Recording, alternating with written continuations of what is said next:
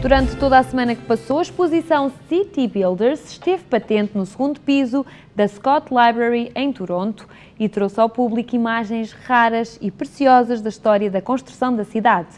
O projeto é liderado por um luso-canadiano, Gilberto Fernandes. Veja a reportagem com Márcio Lourenço.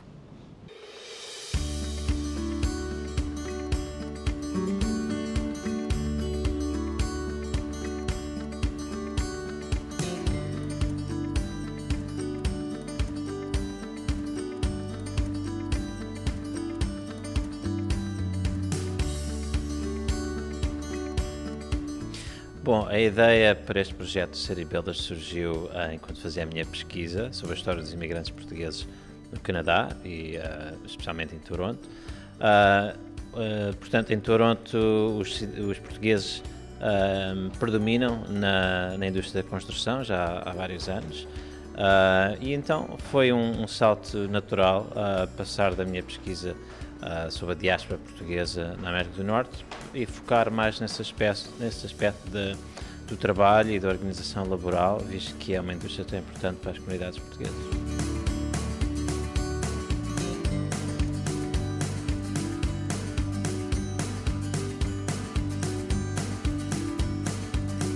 Portanto, a exposição tem uh, vários expositores e artefactos, uh, todos eles com legendas um, digitais que são uh, acessíveis através de um telemóvel. Um, várias delas dão acesso a vídeos, a, a,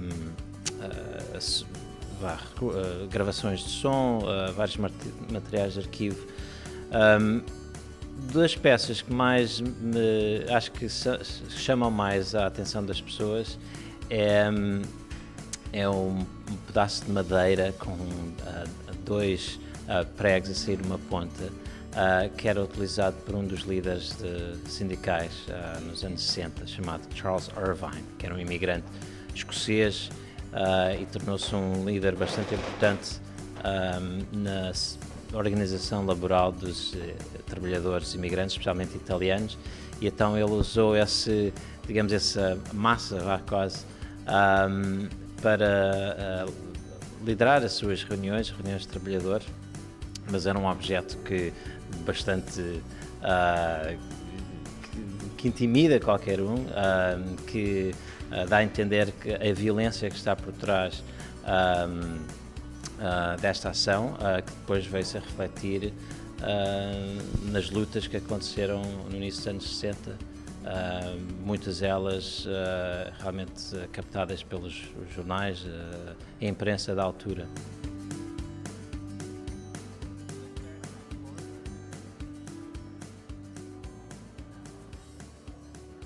Reunir estas peças foi bastante trabalhoso, uh, mas foi um trabalho que se faz uh, com bastante uh, motivação e, e, e gosto,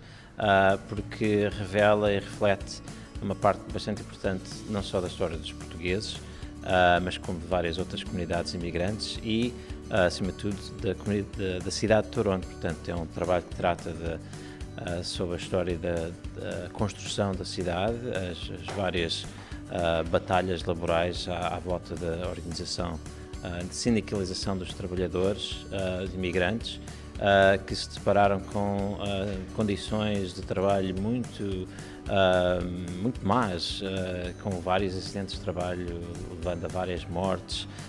exploração bruta. No, nos anos 50 e 60. Uh, portanto, descobrir, uh, trabalhar com estes materiais foi bastante